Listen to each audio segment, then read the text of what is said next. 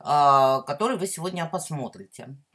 А, совмещением войлока и трикотажа я занялась давно. А, собственно, ну как, уже можно считать вот лет 8-9. Тогда это знаете, вот на тот момент, кроме э, Ирины Любиной, да, вот ничьих работ в этом направлении не было. Причем, ну, у Иры у нее абсолютно вообще другая стилистика, она талантливейший мастер, но у нее, у нее и другой способ совмещения, и другие по стилю работы. А у меня вот, вот это, кстати, одна из первых работ, когда моя взрослая дочь была еще подростком, и собака моя, которая сейчас уже старенькая, ей завтра 8 лет собака была еще тогда щенком. Ну, вот это одна из первых работ в этом направлении. Работ было много. Я думаю, что на просторах интернета они вам неоднократно попадались на глаза. Эти работы многие пытались копировать и повторять. Ну, и бог с ним. Идея хорошая. Пусть она уже как бы отпущена мной в космос. Пусть, пусть живет и работает.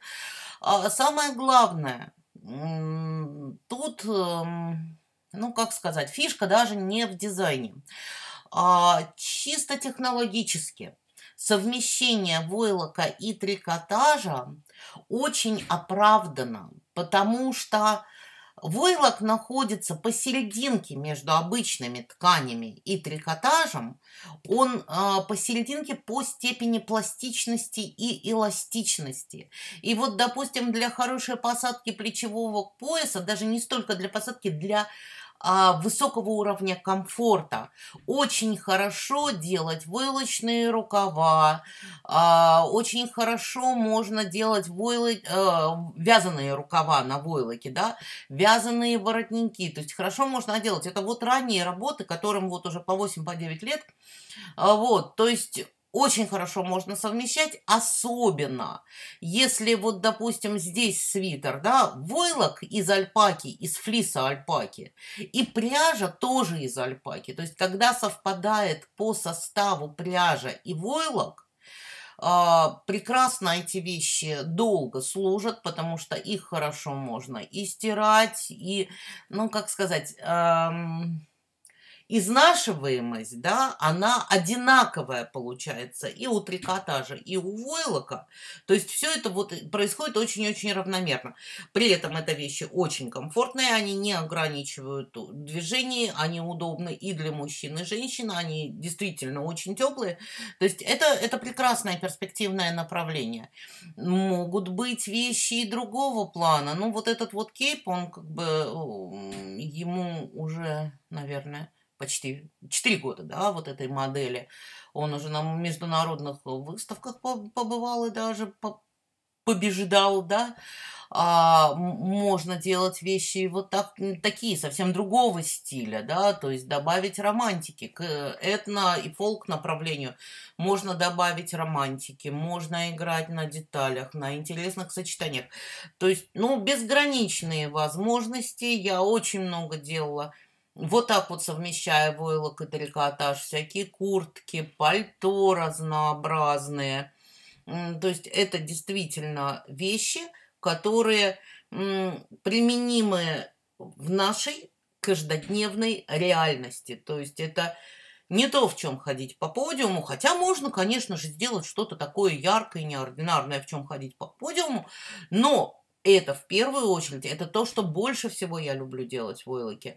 Вещи для каждого дня, для реальной жизни.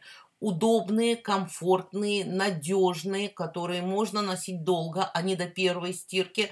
Да, это, это не китайский ширпотреб, и это никакая не синтетика, это здоровая одежда – вот, вот такие вот вещи, да, то есть вот, смотрите, я показывала там, где моя дочь на фотографии, да, одна из первых моделей. Со временем эта модель усовершенствовалась, я ее трансформировала. И она стала другой, у нее появилась кокетка, у нее изменился по очертаниям капюшон, эта вещь стала уже двухсторонней.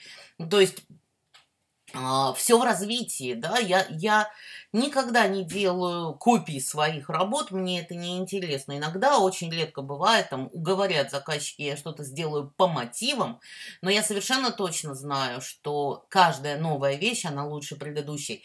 И так и должно быть, то есть мы все же учимся, да, мы развиваемся, набираем обороты, и так э, происходит с каждой вещью. Прекрасно совмещается с войлоком, не только связанный на спицах трикотаж, а то, что связано крючком, да, причем вязать можно из разной пряжи, это могут быть а, отделочные элементы или детали разного размера, разной толщины.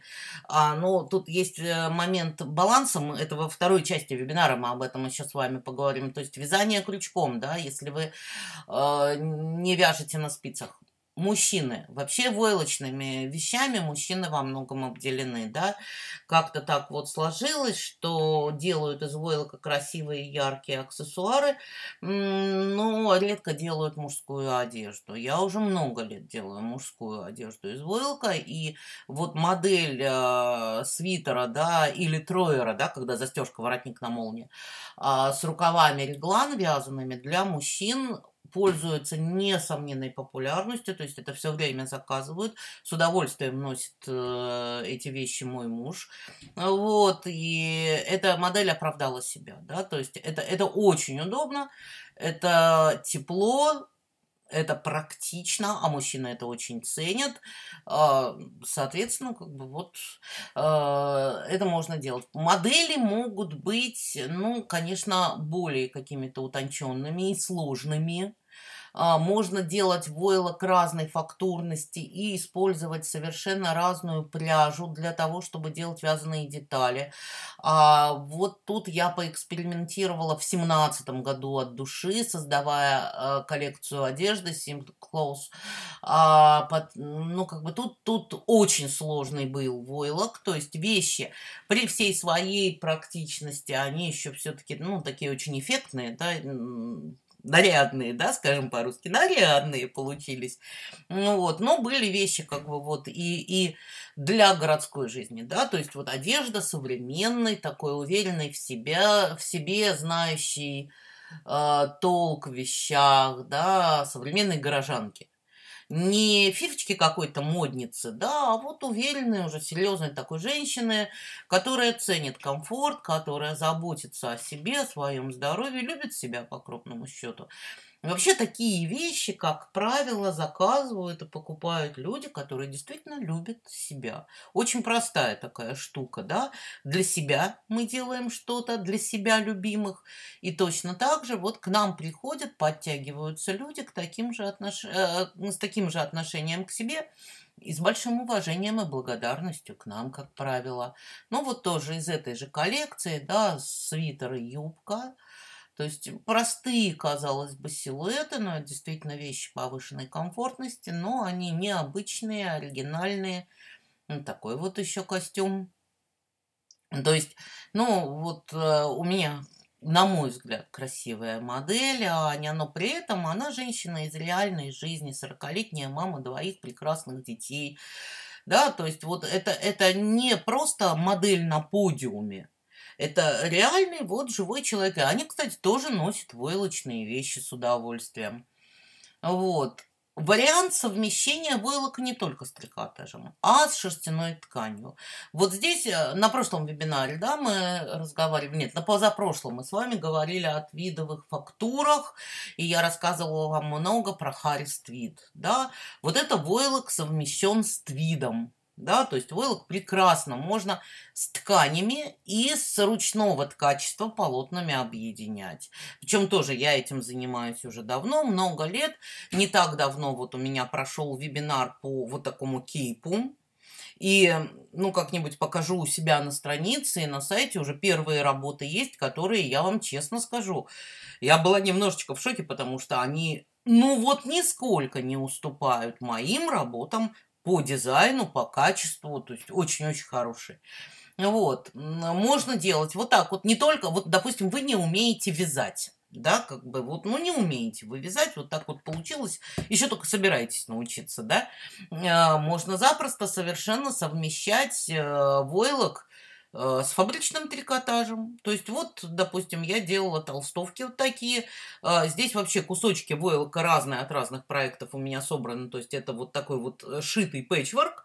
И плюс хороший, качественный, толстенький такой хлопковый трикотаж. Любимая вот на фотографии, любимая толстовка моего мужа.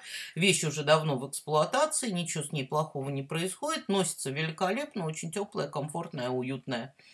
А, вот такой вот проект был, тут как бы с посадкой, да, это, это была историческая реконструкция, такой заказ.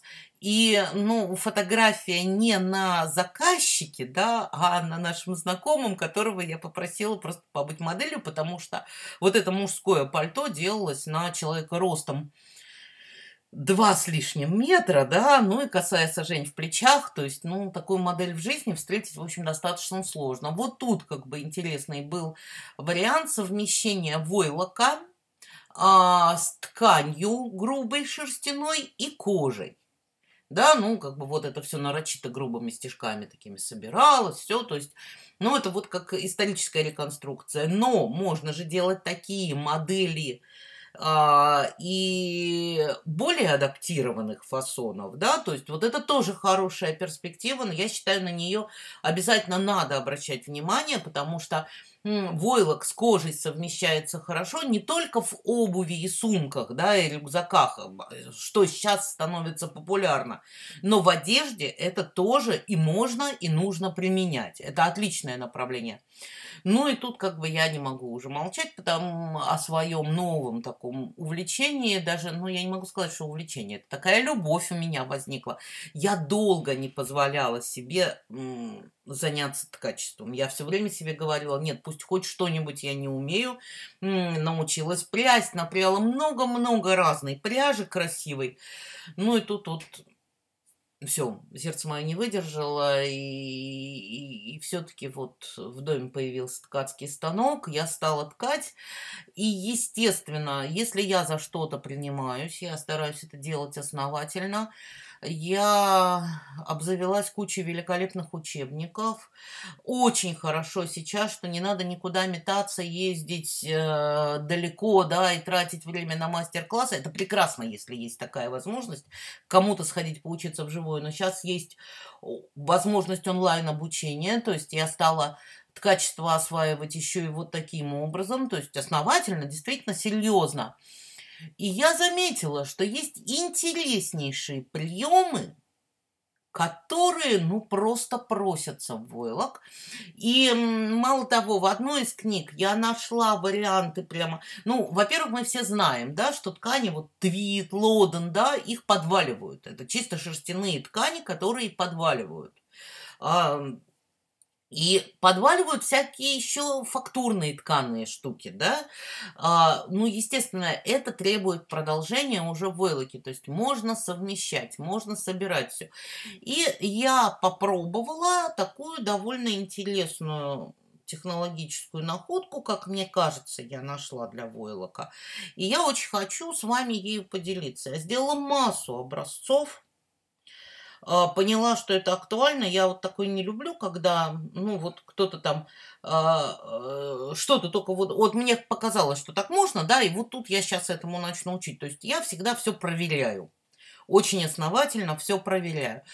И вот ту технологию, которую я сейчас вам буду показывать, да, вот тоже вот это, кстати, это вообще мой самый первый тканый палантин. Самый первый, да, это была проба пера. Я... Это был такой восторг, столько эмоций.